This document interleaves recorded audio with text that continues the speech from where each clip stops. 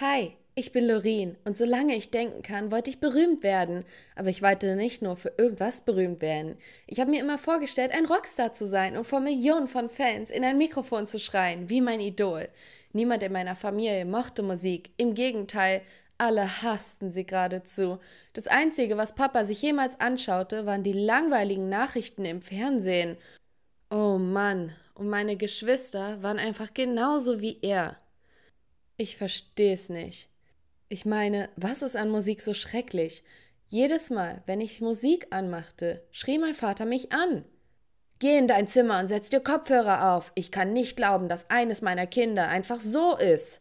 Also habe ich das getan, und ich verlor mich so sehr in der Musik, dass ich anfing, laut zu singen.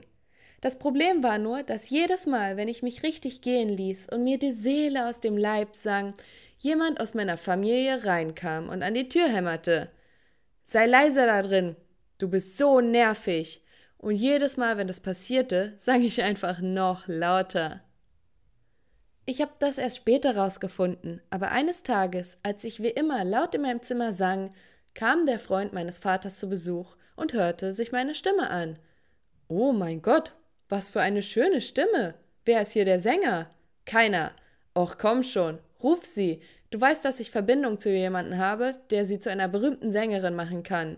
Ach ja? Also bist du jetzt dieser Engel, der geschickt wurde, um ihr Leben zu ändern? Ruf sie einfach. Sie ist diejenige mit der Engelsstimme. Ich wusste, dass ich mich um meine Angelegenheiten kümmerte, als Dad an die Tür klopfte und schrie Ich unterstreiche hier gar nichts. Mein Freund hat sich so geärgert, dass er gegangen ist, also klappe jetzt. Eine Weile später kam meine ganze Familie herein, und meine Schwester sagte, das ist, als würde man Nägel auf der Tafel hören. Und mein Bruder sagte, es ist, als würde man einer sterbenden Ziege zuhören. Meine Mutter brach in Tränen aus und sagte, Musik und Gesang verdirbt dir das Gehirn. Ich konnte es einfach nicht mehr ertragen und schrie zurück, nein, ist es nicht. Eines Tages werde ich eine berühmte Sängerin sein, und ihr werdet alle darum betteln, zu meinen Konzerten zu kommen.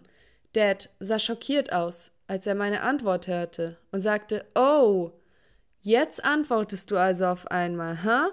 Sieht so aus, als würden wir dir deine Musik wegnehmen wollen. Bevor ich sie aufhalten konnte, nahmen sie alles mit. Meine Stereoanlage, mein iPod, meine CDs, mein Computer. Dad hat alles zertrümmert. Das war's. Du hast dich mit der falschen Person angelegt. Ihr könnt mich nicht davon abhalten, das zu tun, was ich liebe. Wenn sie dachten, mein Zeug wegzuwerfen würde mich von Musikhören abhalten, dann lagen sie ganz falsch. Am nächsten Tag in der Schule rannte ich zu meiner besten Freundin und warf all meine Ersparnisse vor ihr hin. Wir gehen auf ein Rockkonzert. Kannst du die Tickets besorgen? Was? Bist du verrückt? Deine Eltern werden dich umbringen. Das ist mir egal. Sie besitzen mich nicht. Als sie sah, wie entschlossen ich war, sagte sie, dass ihr Bruder sie wahrscheinlich besorgen könnte. Aber wie willst du so spät noch rauskommen? Ich habe nur gelacht und ihr zugezwinkert. Ich habe meine Wege. In der Nacht des Konzertes ging ich zu meiner Schwester. Du musst in meinem Bett schlafen. Lol, das hättest du wohl gern, Plagegeist. Du gehst raus und ich sag's Papa, das wird ein Spaß. Dann werde ich wohl sagen, dass du jeden Abend einen Freund in dein Zimmer einlädst. Oh mein Gott. Willst du mich erpressen? Das würde er dir nie glauben. Ich grinste und wedelte mit meinem Handy vor ihrem Gesicht herum. Er wird das Bild glauben, das ich habe. Sie gab nach. Easy peasy. Ich hatte fast ein schlechtes Gewissen, weil ich sie erpresst hatte. Aber es war nicht meine Schuld, dass sie so dumm war und nicht mal in mein Handy geschaut hatte. Ich hatte ja gar keine Bilder. Und ehe ich mich versah, lief ich in die Menge von Hunderttausenden von Menschen. Aufgeregt wie ich war, hatte ich keine Ahnung, dass sich mein Leben für immer verändern würde. Alle schrien und brüllten vor Aufregung über das, was wir alle gleich sehen würden. Überall, wo ich hinsah, sangen, tanzten und lachten die Leute und als die Musik endlich anfing, erhaschte ich einen ersten Blick auf die Person, von der ich wusste, dass ich dazu bestimmt war, sie zu werden. Ein überlebensgroßer, gitarrenschwingender, bühnenspringender, haarsträubender Rockstar.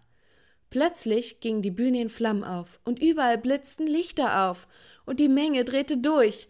Alle schrien, als der Rockstar auf die Bühne kam. Jetzt kam einer meiner Lieblingssongs, eine Göttin, und ich sang es mit, so laut wie ich konnte. Ich kannte jedes Wort. Ich konnte es nicht glauben, wirklich so nah bei ihr zu sein. Meine Augen funkelten. Wow, das war so toll. das war der Moment, an dem jemand meine Hand ergriff und anfing, mich näher an die Bühne zu ziehen. Wir drängten uns durch, um so nah wie möglich zu kommen. Und als das Lied zu Ende war, reichte mir jemand einen Blumenstrauß und sagte mir, ich soll ihn auf die Bühne werfen. Ich tat es, und der Rockstar hob ihn auf und sah mich direkt an, und ich scherzte nicht. Sie zwinkerte. Dann hörte die Musik auf, und sie verneigte sich und nahm sich einen langen Moment Zeit, bevor sie sich das Mikrofon schnappte und das Verrückteste sagte, was ich mir je hätte vorstellen können zu hören. Jetzt möchte ich einen besonderen Menschen auf die Bühne bitten, der meinen nächsten Song für mich singt. Die Menge war so wild, dass ich mich nicht einmal hätte hören können. Ich schrie lauter, als ich es je in meinem Leben getan habe, und ich konnte es nicht glauben, als er mich wieder direkt ansah und sagte Du. Wer hat die Blumen geworfen? Komm hier hoch. Ich musste nicht einmal auf die Bühne klettern, denn ich wurde buchstäblich von all den Leuten in die Luft gehoben und auf die Bühne geworfen. Der Rockstar schaute zu ihrer Band, hob die Hand und sagte Und eins, und zwei, und drei. Und sie reichte mir das Mikrofon und die Band begann den nächsten Song. Ich war wie gelähmt vor Angst. Ich drehte mich um und sah tausende Menschen, die vor Begeisterung schrien. Und bis zum heutigen Tag habe ich keine Ahnung wie, aber ich öffnete meinen Mund und begann zu singen. Es ist verrückt, meine Nacht ist vernebelt. Ich rocke diese Bühne, ich brech den Käfig auf, heute Nacht bin ich frei. Wir rocken diese Bühne heute Nacht, wir stehen und wir kämpfen, wir leuchten im Licht. Meine Nacht ist so neblig, ich rocke diese Bühne und sprenge den Käfig. Heute Nacht bin ich frei. Uh. Die größte Überraschung war jedoch, dass die Leute es liebten. Es war das Gegenteil von dem, was meine Familie immer sagte. Ich war eine tolle Sängerin und plötzlich war ich ein echter Rockstar. Als der Song zu Ende war, drehte ich mich um und sah sie hinter der Bühne. Minuten später kam der Rockstar und ihre Band wieder zu mir und sie sagte, Hey Kleine, ich werde zu alt für sowas. Heute Abend war mein letzter Auftritt und jetzt gebe ich die Fackel an dich weiter. Sie reichte mir ihr Mikrofon, lächelte mich an und ging weg. War das ein Scherz? Ihre ganze Band sah mich an, als ob sie wollten, dass ich etwas sage. Ich sagte das Einzige, was mir einfiel. Ähm, ja, okay? Und so einfach war ich die neue Leadsängerin für eine der berühmtesten Rockbands der Welt. Als ich mit einem Plattenvertrag, einer Million Dollar und einem persönlichen Assistenten, der mein neues Leben als Rockstar organisieren sollte, nach Hause zurückkehrte, machte meine Familie eine komplette Kehrtwende. Dad war überhaupt nicht mehr sauer, dass ich mich rausschlich. Er hat mich umarmt. Meine Tochter, meine liebe Tochter, du machst deinen Vater so stolz und reich. Bevor irgendjemand von uns blinzeln konnte, hatte ich plötzlich Agenten und Manager und einen Stylisten. Ich bekam eine komplette neue Garderobe und einen Fahrer, der mich zu jeder Tageszeit überall hinbrachte, wohin ich wollte. Die Band plante eine Welttournee für den Sommer. Und wir planten, überall aufzutreten. Überall, wo ich hinging, schrien die Leute meinen Namen. Ich tat plötzlich genau das, wovon ich geträumt hatte, während ich in meinem Schlafzimmer herumtanzte. Ich bekam Fanpost aus jedem Winkel der Erde, und ich hatte so große Schmucksammlungen, dass ich ein ganzes zweites Haus kaufen musste, nur um alles darin aufzubewahren. Überall, wo ich hinging, machten die Leute Fotos und baten um Autogramme. Ich war auf den Titelseiten von Magazinen und ich habe mit einigen der berühmtesten Musiker aller Zeiten Musik gemacht. Ich wohnte immer noch in einer riesigen Penthouse-Suite von einem Hotel, aber die Dinge änderten sich bald.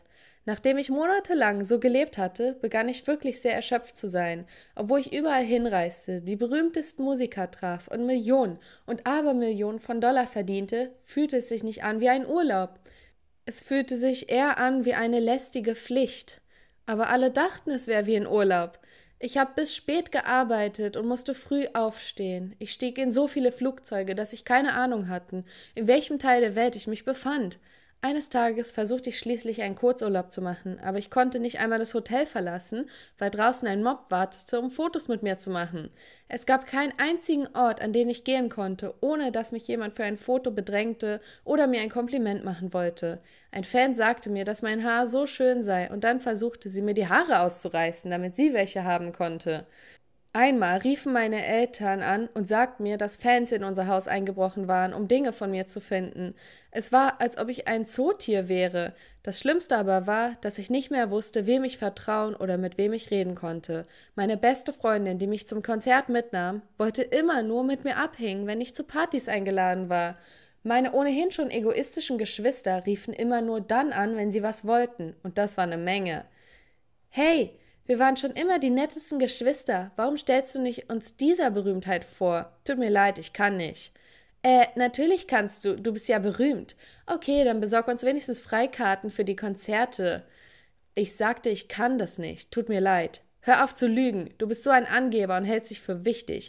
Du bist immer nur ein dummer Sänger. Nichts weiter. Und sie legten auf. Meine Eltern waren die schlimmsten. Sie gaben plötzlich Interviews im Fernsehen und erzählten der ganzen Welt, wie sehr sie mich unterstützten, als ich ihnen sagte, dass ich Sängerin werden wollte. Sie ernteten Lob für mein Glück und meine harte Arbeit. Und überall, wo ich hinsah, wollte jemand was von mir. Niemand fragte mich überhaupt, wie es mir ging. Ich war gefangen und mir wurde klar, dass ich gar nicht mehr gerne singe. Eines Tages, als ich auf der Bühne stand, merkte ich, dass ich mich selbst nicht einmal singen hören konnte, weil alle so laut schrien, und da beschloss ich, wenn ich nicht einmal die Sache genießen konnte, die ich wirklich liebte, wollte ich sie nicht. Und das bedeutete, dass ich genau das tun würde, was mir angetan wurde, und ich musste jemanden finden, der meinen Platz einnimmt. Ich scannte die Menge vor mir, bis ich ein Mädchen sah, das alle Texte meiner Lieder mitsang. Am Ende des Liedes nahm ich mir einen langen Moment, drehte mich zur Menge und sagte Ich möchte eine glückliche Person auf die Bühne einladen, die einen meiner Songs singt. Und ich rief das Mädchen auf die Bühne, und Junge, sie war so gut und sie schien super aufgeregt zu sein, auf der Bühne zu stehen. Sobald das Konzert vorbei war, sagte ich ihr, dass die Band ihr gehört. Dann habe ich mir einen Blumenstrauß geschnappt und bin aus dem Konzert gegangen und niemand ist mir gefolgt. Alle waren zu aufgeregt, die neue Sängerin zu treffen.